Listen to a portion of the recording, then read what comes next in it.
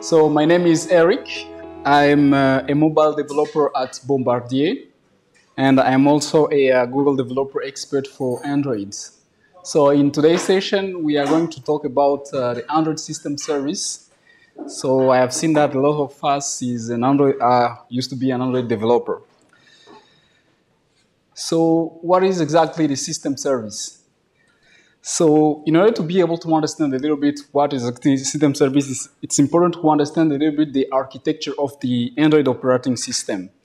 So everything used to start from the, the bottom here. We have the, the Linux kernel because um, Android is a, a Linux-based operating system. And from the this top here, we will see our custom application, or it can be uh, the system application or the uh, device manufacturer-based application. So if you see this uh, diagram here, you can see that uh, the Android system is basically divided in different kind of layer. So the bottom layer here used to have uh, some kernel stuff like uh, the, the, the, audio, the, the, the, um, the, display, the camera, the, all the stuff related to the uh, device hardware. So if we try to move a little bit uh, higher, we'll try to see another layer. And on the top is the system layer when you can find something like uh, the, the default application that we used to have on our mobile phone.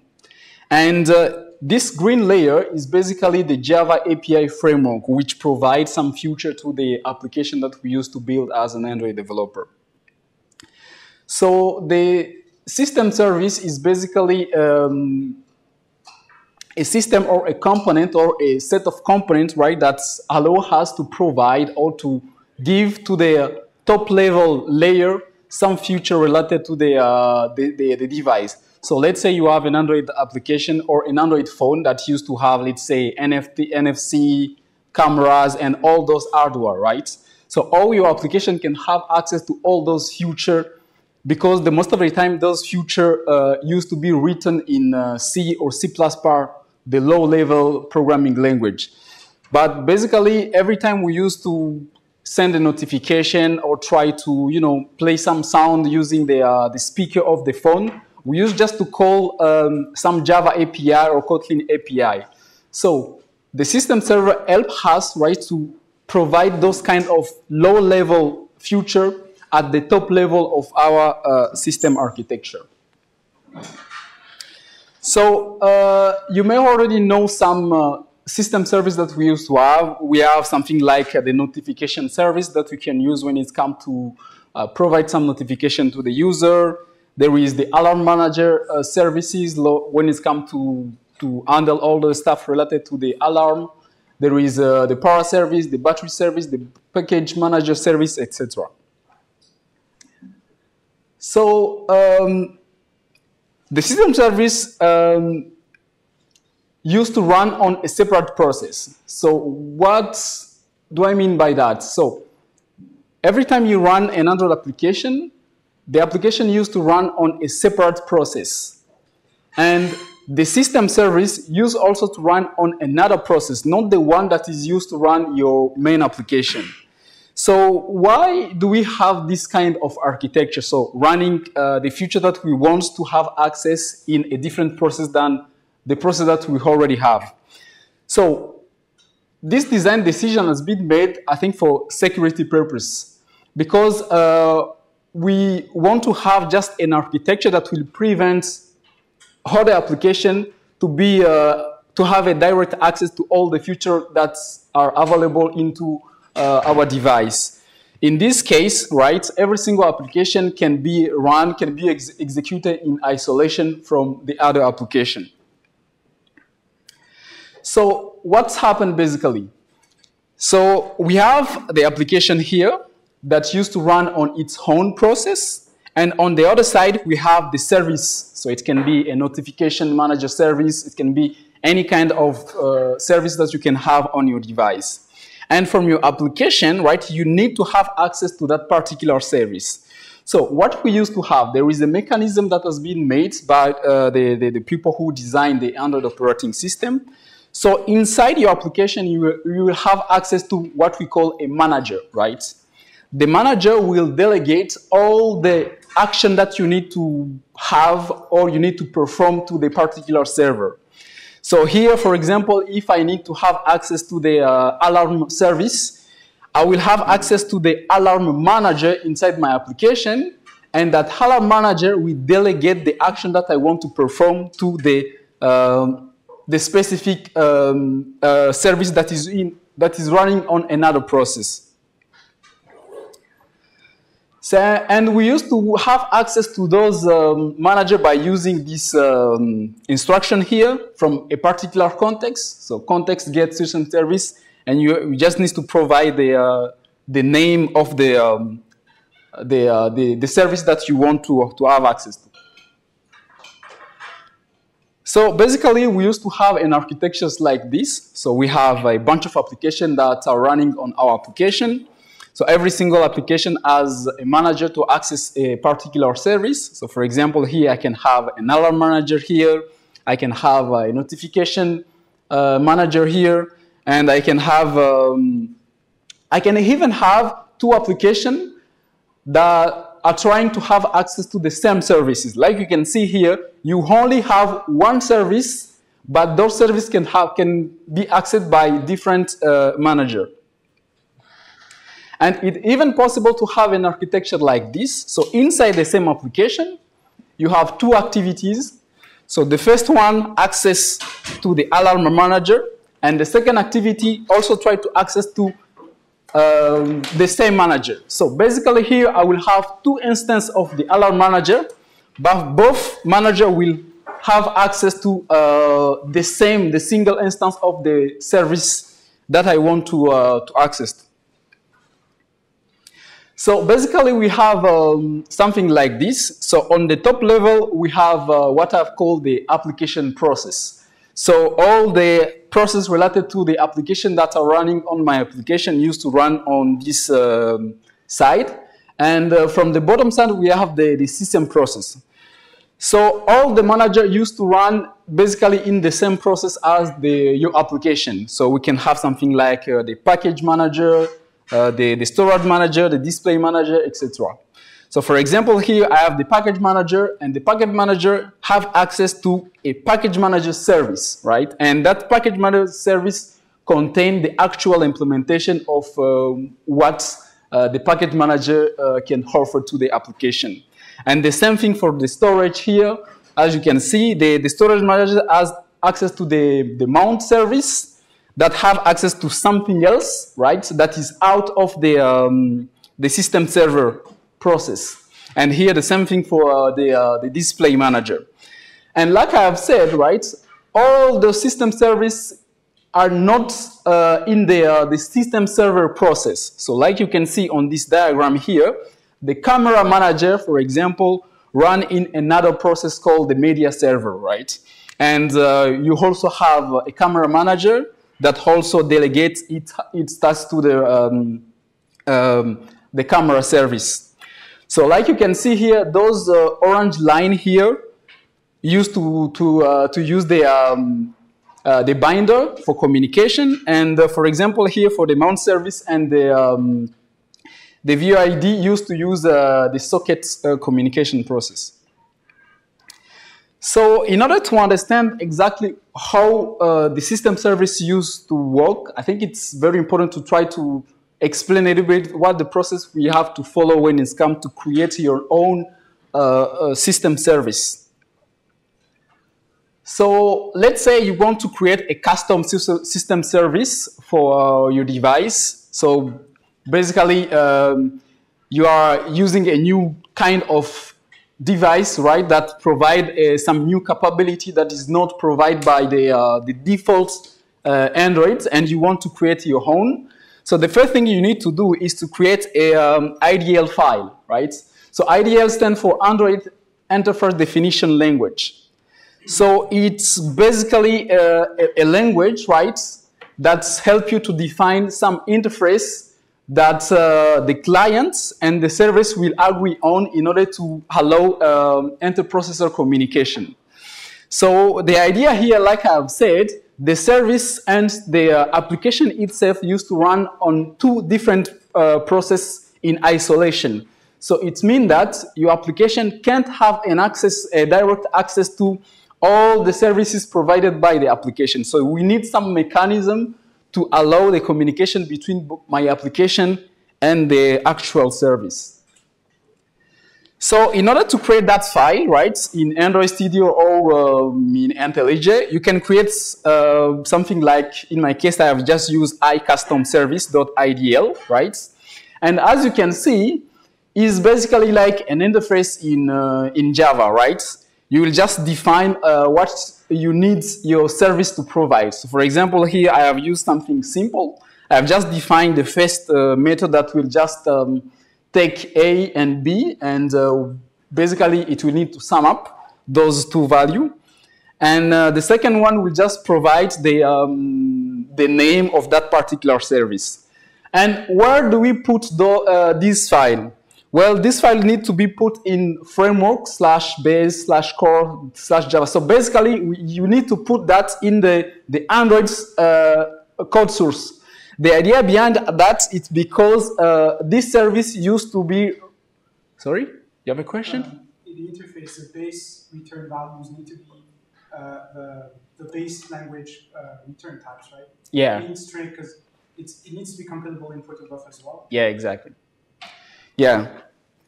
So, uh, like I was saying, right, you need to put uh, this uh, IDL file into um, the operating system. Basically, when you want to create your own uh, system service, you have to customize the, um, uh, the, Android, um, the Android code source, the framework code source. So after that, we need to uh, create the implementation of that interface, right? Previously, we have just created an IDL file, right? And after building your project, uh, the, the, uh, this stub uh, class will be generated for you, right? So it will be basically an interface that will have the same structure as the IDL file that we have created. And in this file, right, we can create uh, a tag, so for logging or something else. And we need just to create uh, our constructor that take the context of uh, the application. Maybe we can have access to that. And we can define an implementation of uh, our uh, get service name that's return something. For in my case, it just return my custom service. And the same thing for uh, the uh, the sum, uh, the add uh, function that return just the sum of a and uh, and b.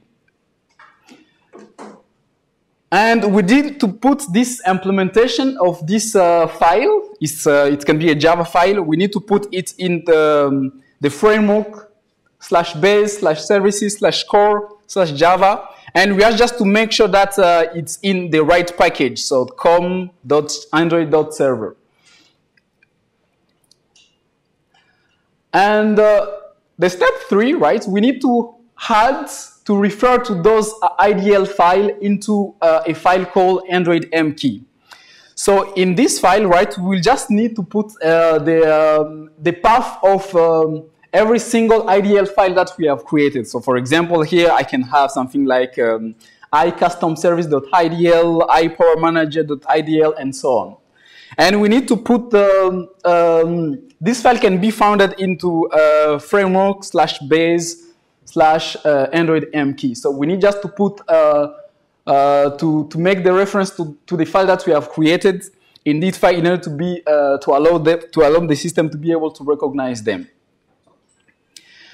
And after that, we need to register our uh, custom uh, service to the, um, to the service manager. So in this case, right, the user can be able to uh, utilize this service to the application. So it's important to try to use a try catch because uh, from a specific reason it can, it can fail. And after doing that, right, we just need this file here, the system server, it's an existing file that can be found into a framework slash base slash services Java com Android server uh, package.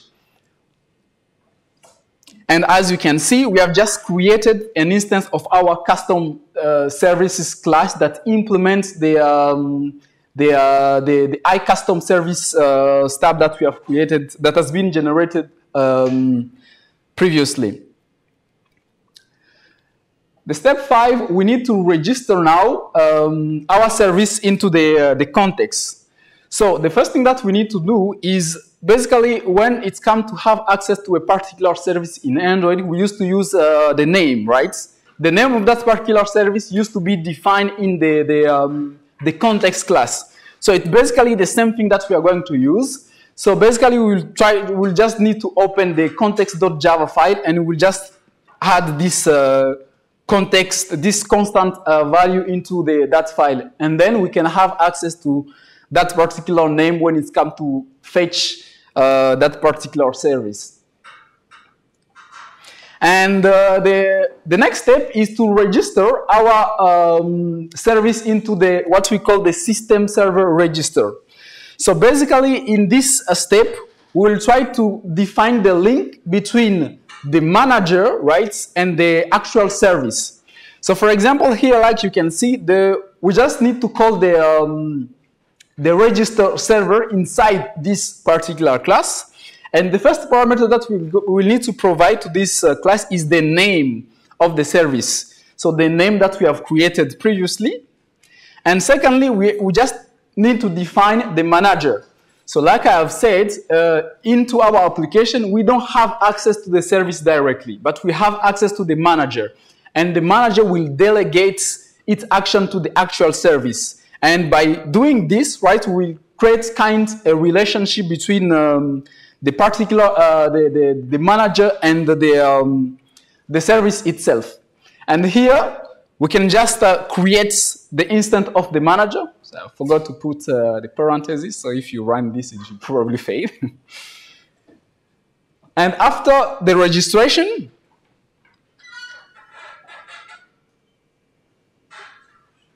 Okay, like I was, I was saying, we need to put uh, in this file, and this file can be found in the, the framework, framework slash base slash core slash java slash android slash app. So it's an existing file. We just need to modify it by adding this uh, new line in order to be able to register uh, your, your service.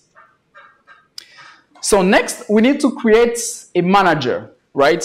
Like I have said previously, the idea behind the manager is to be able to, uh, to allow your application to be able to interact with uh, the particular service.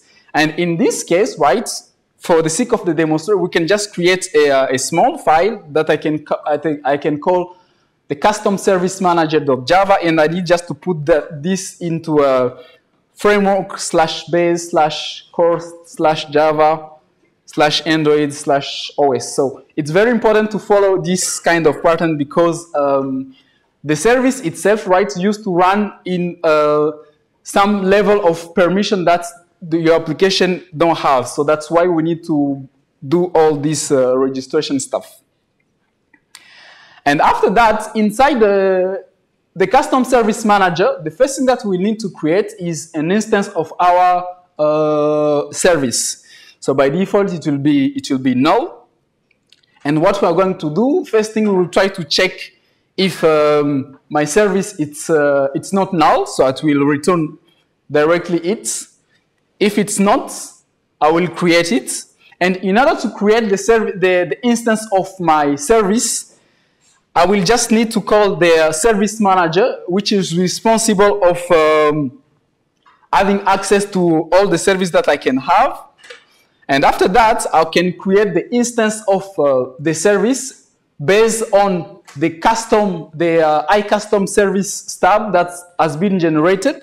And I can just call the as interface and I will just prove to provide the, the binder. And by doing this, right, my service will be created.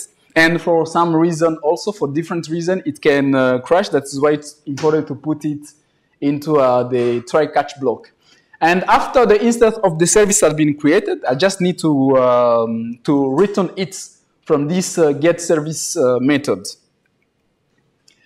And like I have said previously, um, the manager is not doing anything, right? Like you can see here, the actual implementation of the get service name is just a delegation to the method that is present into my service. So for example, every time the user will try to, uh, to call the, the, the, method get service name from the manager, basically it will, the, the manager will delegate that call to, uh, to the, the, the, actual service. And the same thing for uh, the add. So for example, if I put, um, if I try to call the, the add method uh, from the manager, it will basically delegate uh, this call to the service call. And at the last step, I just need to showcase how the manager, the actual manager can be accessed from my application. So like I've said previously, in order to have access to the service, I need to, to use the get system service. It's a pretty popular uh, method in Android from a particular context. So you can use it from, uh, let's say, an activity. And you can get access to your context by defining the name of the, uh, the service that we have defined in the context class. And uh, since the, uh, the object that this uh, method used to return is the generic one, you just need to cast it to uh, our manager. And as you can see, inside the application, I can't have access directly to the, uh, the service that have been created. But the manager of that particular service helped me to have access to that um, particular um, service. And here I can call manager.get get service name. And by doing this, basically I will delegate the action of this call to the underlie uh, to the service. And it can be the same thing here. And that is uh, basically it when it's come to create uh, a custom service. So the idea behind the, the mechanism of uh, service and manager is what I have explained are these particular slides.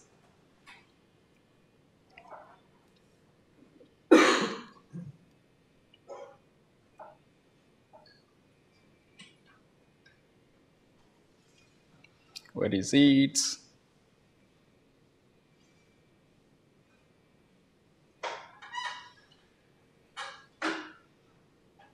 Okay, I think this one, right? So uh, our application used to be uh, on this side of the, um, the process, if I can, I can, say like that. It will be running uh, on its own process, right? And like I have said, an application can have several instances of um, a particular manager, right? And that manager is supposed to provide to us some set of feature that we will need to, uh, to have. So it can be, for example, the notification manager, uh, the camera manager, the display manager, the storage manager, uh, whenever. And every time we use to call a specific method of a particular manager, basically it will do all the things that I've just explained. It will try to delegate the action uh, of that call to the particular service that has been linked to that particular manager. And it will be the same thing for any kind of manager. And uh, the idea be behind uh, this separation here is uh, what we call the, the, the, sandboxing. So it means that your application and the service that your device is supposed to provide to your application used to run separately in two different processes. And for security purpose, right, your application is not supposed to have a direct access to the memory of um, every single service that uh, your application can, um, can provide.